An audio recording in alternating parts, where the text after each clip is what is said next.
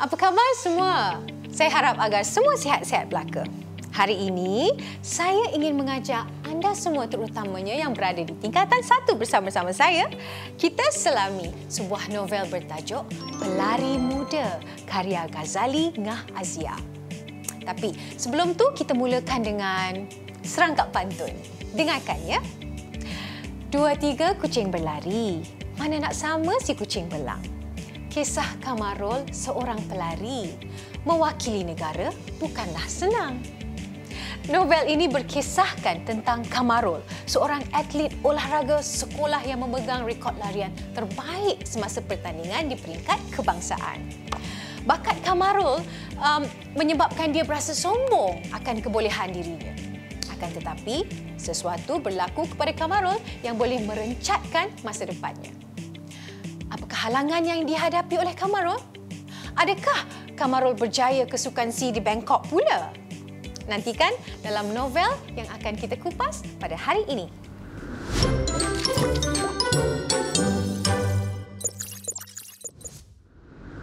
Novel ini bermula dengan Kamarul yang merupakan atlet remaja yang sangat bagus.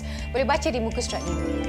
Dia dapat menyertai kejohanan sukan MSSM dan berjaya mencipta rekod cemerlang dalam acara pecut 100 meter dan 400 meter dengan catatan terbaiknya 11.5 saat dan 48.0 saat. Kecemerlangannya itulah yang membuka mata pengurus dan kontingen sukan Malaysia untuk mewakili Malaysia ke Sukan di Brunei media banyak memaparkan kehebatan Kamarul menyebabkan dia menjadi sombong dan tidak mahu berlatih lagi di bawah kelolaan jurulatih Encik Kadir. Hubungan dengan rakan baiknya Saridah juga renggang gara-gara sikapnya yang angkuh. Kita boleh lihat di muka surat empat ya. Sejak akhir-akhir ini kau nampaknya sombong benar, ujar Saridah. Semua orang kata aku sombong. Ego, balas Kamarul. Kau tak boleh ego dengan kejayaan kau, Kamarul balas Saridah dengan berani. Kamarul pula mulai ponteng latihan pusat dan lebih gemar berlatih sendiri. Pesaing Kamarul dan juga rakan atlet olahraga iaitu Sures berjaya menandinginya di dalam sesi latihan menyebabkan Kamarul mulai rasa tercabar. Reaksi dan pujian dari Encik Kadir kepada Suras itu membuatkan Kamarul menjadi sangat marah. Mak Jah, ibu Kamarul, Menegur sikap Kamarul yang menanamkan rasa bencinya pada Encik Kadir. Semua ini berada di muka surat 50. Ha, Datuk kenapa dikoyakkan gambarnya? Tanya Mak Jahairan. Saja, balas Kamarul. Walaupun kertas, tapi hati kau tu telah membencinya. Kau dah menanamkan perasaan benci pada seseorang. Tak baik benci seseorang. Ujar Mak Jah kurang senang. Kalau Encik Kadir tu nampak kau buat begitu, kecil hatinya. Kamarul hanya tersengih. Walaupun Kamarul bersifat sombong dan mendendami Encik Kadir, beliau tidak putus asa untuk menyelami hati Kamarul dan memberi semangat padanya. Encik Kadir pula sedar akan tugasnya sebagai jurulatih yang perlu peka akan pelatihnya. Ini semua berada di muka surat 43. Sebagai jurulatih, saya perlu mengambil berat kepada pelatih saya, kata Encik Kadir. Apalagi untuk membuktikan kepada ketua jurulatih, setiap pelatih saya perlu mencapai tahap kecergasan yang baik dan tidak ada yang tercedera. Kamarul masih membisu. Dia sengaja membiarkan Encik Kadir bercakap. Dan bagi membakar semangat Kamarul, Encik Kadir menghadiahkannya pingat emas yang dimenanginya di New Delhi kepada Kamarul. Akan tetapi, sikap ego dan sombong Kamarul menyebabkan dia tidak menghargai pemberian Encik Kadir dan tergamak membuangnya. Ish, sombong sungguh Kamarul ni ya. Sikap begini sebenarnya memakan diri sendiri dan akhirnya sesuatu berlaku kepada Kamarul yang membuatkan dirinya insaf. Kemuncak novel ini ialah apabila Kamarul dilanggar kenderaan ketika melintas jalan tanpa menoleh ke kiri kanan kerana fikirannya berkecamuk selepas dia melemparkan pingat emas yang diberikan oleh jurulatihnya. Encik Kadir. Akibatnya, dia terlantar di hospital selama empat hari. Kamarul berasa sangat kecewa dan dia sedar. Tanpa jurulatih, keluarga dan rakan-rakannya, dia tidak akan berjaya. Dia meminta maaf dan hubungannya kembali pulih dengan Encik Kadir dan Sarida. Jadi di muka surat 80, Kamarul merasakan dia benar-benar bersalah. Maafkan aku Saridah. Maafkan aku Cikgu Zainal. Maafkan aku Encik Kadir. Maafkan aku kawan-kawan.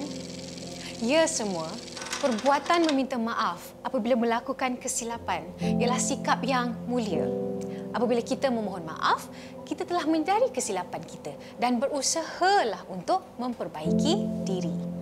Walaupun sebelum ini, Kamarul bersifat sombong Encik Kadir masih memberikan semangat kepada Kamarul dan membantu Kamarul untuk mendapatkan kecergasannya kembali.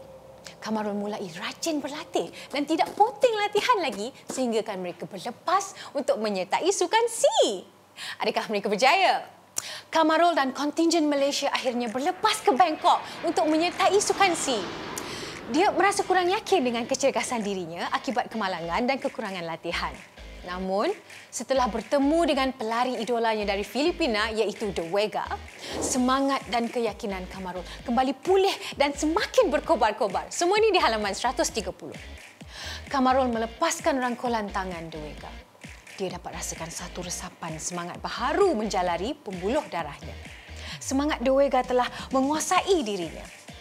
Encik Kadir sekali lagi menghadiahkan pingat emas yang sebelum ini pernah diberikan kepada Kamarul. Encik Kadir meminta Kamarul mengikat pingat di pinggangnya untuk menaikkan semangat.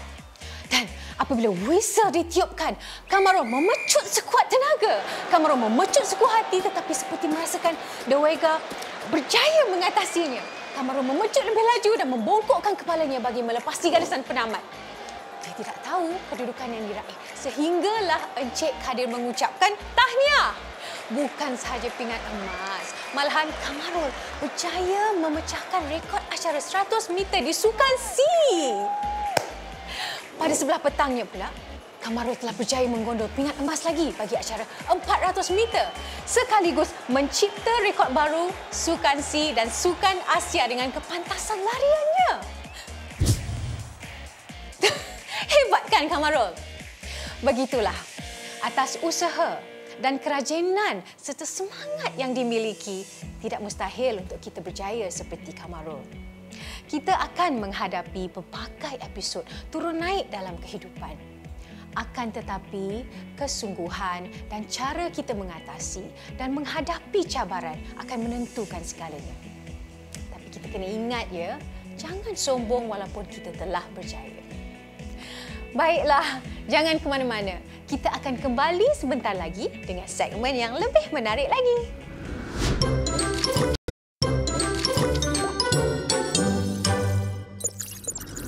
Kembali lagi kita dalam rancangan Mari Bercerita bersama saya, Nadia Akila. Hari ini kita mengupas novel Pelari Muda karya Ghazali Ngah Azia. Novel ini mudah difahami dan sesuai dengan jiwa remaja kini kerana ia penuh dengan nilai pengajaran seperti semangat tidak putus asa untuk mencapai kejayaan. Baiklah, setelah kita mengungkap dan mengupas cerita ini dengan terperinci, apa kata kita sekarang? Uji minda kita. Perkataan pertama, jurulatih. Maksud dia, orang yang melatih orang lain supaya mahir. Macam mana kita nak eja jurulatih ni? Adakah dia ada berjarak macam ni? Atau satu perkataan macam ni? Bijak sekali, benar. Jawapannya tiada jarak. Contoh ayat. Jurulatih pasukan bola sepak Malaysia akan bersara tidak lama lagi. Faham kan? Perkataan seterusnya. Kemasyuran yang bermaksud sesuatu maklumat perkabaran, berita yang disebarkan ke serata tempat untuk makluman orang ramai. Macam mana kita nak eja ayat kemasyuran ni? Adakah dengan H ataupun dengan Y? Betul sekali. Dengan Y kemasyuran. Saya beri contoh ayatlah. Kemasyuran Pulau Langkawi dengan legenda Mahsuri menjadi buah mulut rakyat sejak turun-temurun. Perkataan seterusnya, contingent yang bermaksud sekumpulan orang yang mewakili sesebuah pertubuhan negara dalam sesuatu pertemuan. Macam mana kita nak eja ni? Adakah tanpa N ataupun dengan N? Bijak sekali. Kontingen tentulah ada N. Contoh ayat.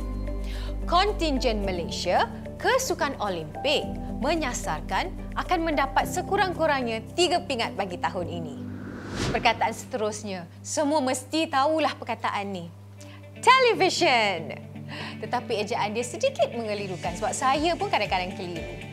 Adakah ejaannya V-I-S-I-O-N atau V-I-S-Y-E-N? Betul jawapannya V-I-S-Y-E-N, television. Saluran didik TV di televisyen diperkenalkan untuk membantu pelajar belajar kendiri di rumah. Perkataan seterusnya. Baharu. Macam mana kita nak eja baharu? Adakah seperti yang kita dah selalu sebut, baru, B-A-R-U, atau baharu, H-A-R-U? Betul sekali, baharu. Bijak adik-adik. Azmil membeli kereta mainan baharu berwarna merah buat anak kesayangannya. Mudah kan? Perkataan seterusnya. Dengar tak bunyi itu? Loceng. Macam mana kita nak eja perkataan loceng?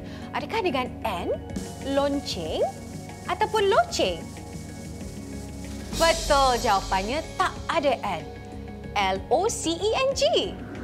Saya bagi contoh ayat. Amirah meletakkan loceng di leher kucingnya supaya tidak hilang. Faham kan? Seterusnya, perkataan olahraga. Adik-adik suka bersukan tak? Macam mana kita nak eja olahraga ni? Dia ada jarak ataupun tidak berjarak? Betul, ia adalah satu perkataan. Tiada jarak. Saya beri contoh. Acara 100 meter bagi sukan olahraga merupakan acara yang ditunggu-tunggu semasa sukan Olimpik. Adik-adik, dapat kenal pasti tak ejaan yang kerap adik salah eja? Sekiranya adik-adik ingin menguji kemahiran ejaan, adik-adik perlulah kerap membaca dan juga sentiasa merujuk di kamus untuk memastikan ejaan dan sebutan adik-adik betul ya. Kita berehat seketika sementara adik-adik buka kamus. Kembali lagi selepas ini.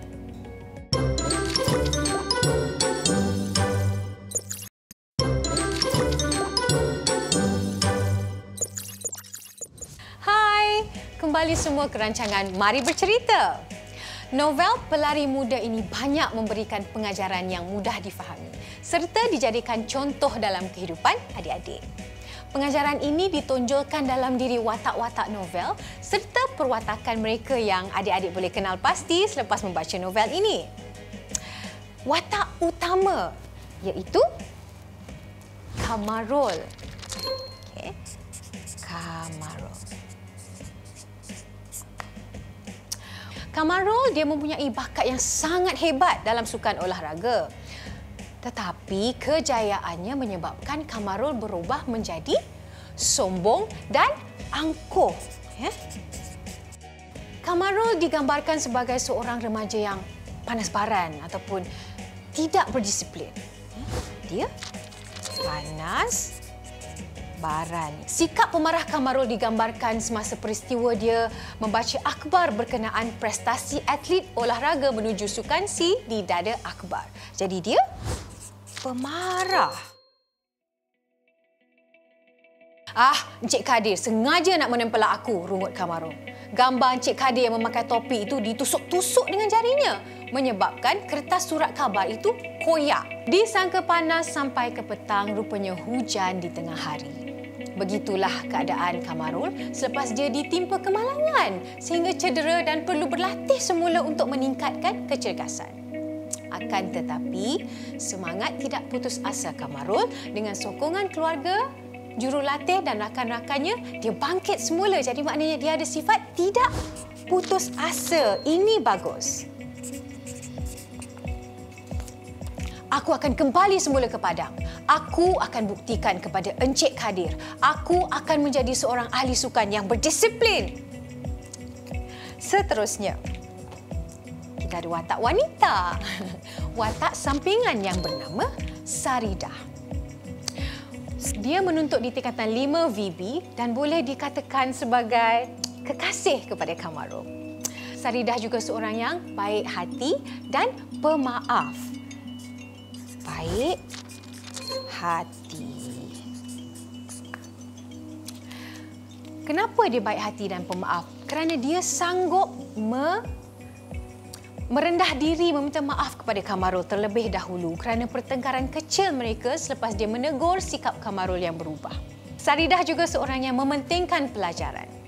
Dia mempunyai impian untuk mendapat keputusan yang baik dalam peperiksaan SPM dan mempunyai impian untuk belajar sehingga ke universiti. Jadi Saridah ini dia bercita-cita tinggi. Ya adik-adik, walau apa pun cabaran dalam kehidupan kita, ya, adik-adik perlulah mengutamakan pelajaran dan memasang impian seperti Saridah untuk mendapat keputusan yang baik di dalam peperiksaan. Okey? Watak seterusnya, watak sampingan iaitu Encik Kadir, jurulatih Kamarul. Encik Kadir watak jurulatih Kamarul iaitu Encik Kadir juga penting sebagai jurulatih olahraga yang berpengalaman. Beliau seorang yang sangat sabar. Encik Kadir juga seorang yang prihatin dan mengambil berat akan pelatihnya, terutamanya Kamarul. Sikap timbang rasa Encik Kadir sedikit sebanyak telah mengubah Kamarul. Baiklah, setelah mendengar kupasan cerita ini, apakah sebenarnya yang telah kita pelajari untuk dijadikan iktibar?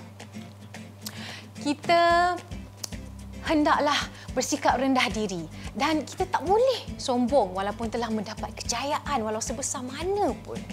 Kita haruslah menghargai sumbangan mereka yang banyak membantu kita. Bayangkan guru-guru di sekolah yang sentiasa bertungkus lumus mengajar kita. Saya pun pernah berada di bangku sekolah dan saya pernah berada di tempat kalian semua. Jika bukan sebab tunjuk ajar guru yang sentiasa membantu, saya tidak akan berdiri di hadapan adik-adik pada hari ini. Oleh itu, sentiasa menghargai mereka yang membantu kamu berjaya dan jangan cepat putus asa ya. Okeylah, cukuplah Kak Nadia. Cukup bagi nasihat ni. Masa untuk kita menguji minda kita sekali lagi. Kini dengan soalan misteri. Jom. Kita telah menyorot dan mengkaji novel ini sehingga selesai. Sekarang, masa untuk soalan misteri kita. Mari kita jawab sama-sama. Apakah perwatakan Kamarul yang seharusnya dicontohi dalam kehidupan kita? Saya boleh beri cadangan jawapan. Perwatakan Kamarul yang seharusnya dicontohi dalam kehidupan kita ni adalah seperti semangat berani dia menghadapi cabaran dan tidak mengenal erti putus asa walaupun berdepan dengan cabaran. Soalan seterusnya. Nyatakan tiga latar tempat yang terdapat dalam novel Pelari Muda. Jawapannya yang pertama, latar tempat yang terdapat dalam novel ini ialah Pusat Sukan Kampung Pandan. Saya bacakan sedikit dari petikan novel ini. Sudah 20 minit Suris berada di pusat sukan Kampung Pandan tetapi Kamarul masih belum juga sampai. Selain itu, Stadium Merdeka, tempat Kamarul dan Saridah menyertai sukan MSSM. Contohnya di dalam novel dia kata, Saridah mula mesra dengan Kamarul ketika berada di padang Stadium Merdeka. Adik-adik, tahu tak Stadium Merdeka inilah tempat pertama rakyat Malaysia menyambut Hari Kemerdekaan. Seterusnya, di Stadium National Bangkok, tempat berlangsungnya Sukan C ke-14. Saya baca dari muka surat 32 ya. Sewaktu kontingen Malaysia menaiki bas menuju ke Stadium National, hujan masih lagi rintik-rintik. Baiklah, sekarang kita teruskan ke soalan seterusnya. Ini menarik.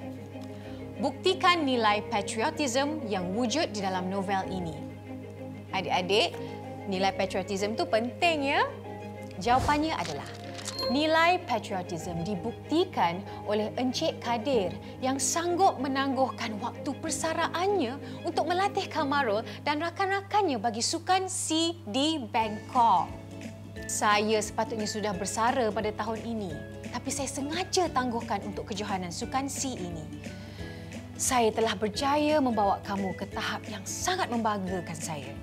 Saya tidak terkilan tetapi bangga mengundur diri sebagai jurulatih. Jelas Encik Kadir. Sangat murni nilai sifat Encik Kadir ni ya adik-adik. Baiklah, soalan yang terakhir untuk hari ini. Tada! Berikan satu pengajaran yang adik-adik pelajari daripada novel ini. Ada macam-macam pengajaran yang bagus daripada novel ini. Adik-adik, kita haruslah mempunyai disiplin untuk mencapai kejayaan. Pada awalnya, Kamarul tidak berdisiplin dan prestasinya merosot. Tetapi, dengan keazaman dirinya berubah, Kamarul berjaya mendapat dua pingat emas di Sukan C di Bangkok. Ternyata disiplin ini sangat penting yang kita harus ada daripada zaman persekolahan sehinggalah bila kita bekerja. Baiklah, cukup rasanya soalan itu untuk menguji pemahaman anda semua mengenai cerita ini. Saya harap anda semua dapat menjawabnya tadi. Jangan lupa kalau tak dapat, teruskan membaca dan ulang lagi. Jangan putus asa. Nampaknya kita telah pun sampai di penghujung rancangan. Saya berharap agar kupasan tentang novel ini sedikit sebanyak dapat membantu anda semua memahami cerita ini. Semangat rajin berusaha dan disiplin tinggi yang ditonjolkan dalam persoalan cerita ini seharusnya diterapkan di dalam jiwa masyarakat, terutamanya dalam kalangan pelajar sekolah. Ingat ya, genggam bara api biar sampai jadi arang. Buat sesuatu dengan bersungguh-sungguh sehingga berjaya. Okey? Jangan lupa untuk terus membaca ya. Sehingga berjumpa lagi.